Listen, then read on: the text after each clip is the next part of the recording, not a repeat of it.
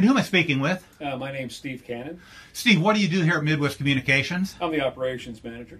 Okay, and you've decided to lower your flag at half staff. Any particular philosophy or uh, thought pattern that goes into that? Uh, we usually do that according to if the state of Indiana, through the governor, says that you know that, that the state is, is observing something like that, or through the federal government. Great. Thank you for your time.